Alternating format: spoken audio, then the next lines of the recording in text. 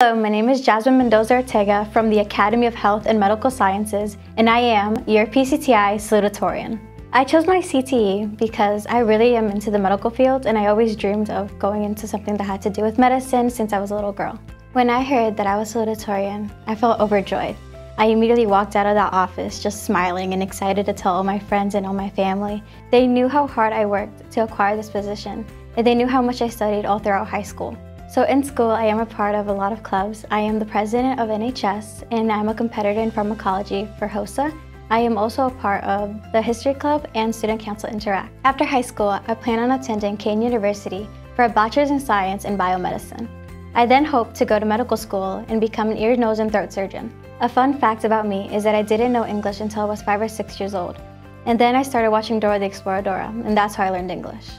Some people I would like to thank are my mom and my dad and all my brothers and sisters that helped me study.